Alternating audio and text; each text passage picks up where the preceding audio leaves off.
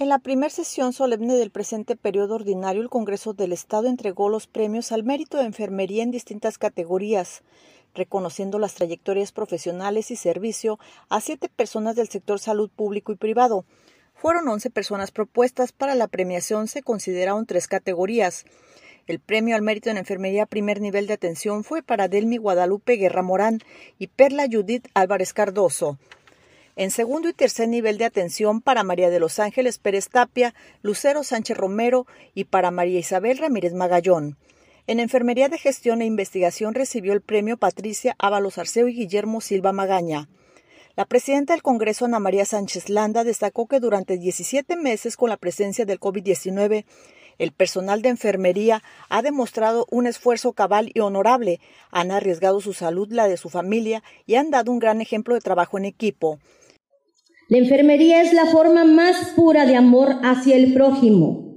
Es darlo todo sin esperar nada a cambio.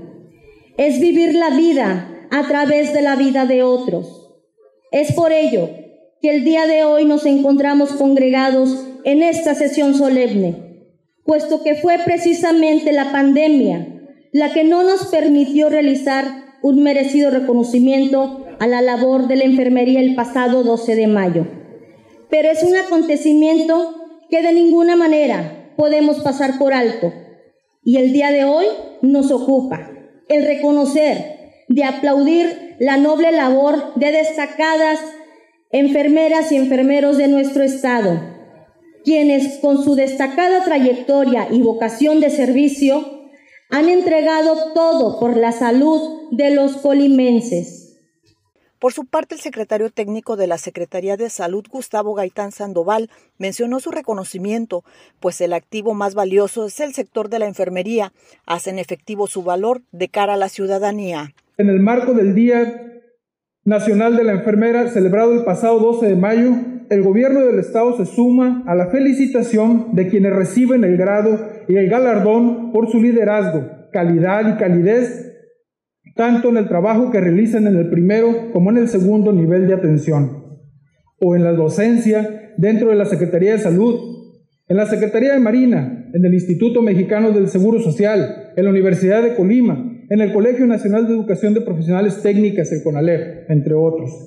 A ustedes, Delmi Guerra Morán, Perla Álvarez Cardoso, Ángeles Pérez Tapia, Lucero Sánchez Romo, Isabel Ramírez Magallón, Patricia Ábalos Arceo y a Guillermo Silva Magaña, muchas felicidades por demostrar su potencial como líderes y gestores en el cuidado de la salud. Es de reconocer que en medio de esta contingencia sanitaria, que es la más grande del último siglo, hemos estado de la mano haciendo frente día con día en la atención de los afectados por la pandemia, sin descuidar, claro, el resto de los servicios que se otorgan tanto en los centros de salud en las clínicas como en los hospitales. Enhorabuena, compañeras y compañeros enfermeros, por superar desafíos y seguir adelante con la capacitación, con su entrega y su don de servicio para salvaguardar la vida, la salud y el bienestar de las familias colimenses.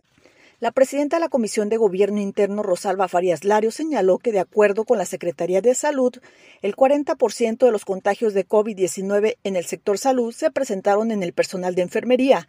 Ante ello, es pleno el reconocimiento. Para Noticias 12.1, Sobeida Moreno.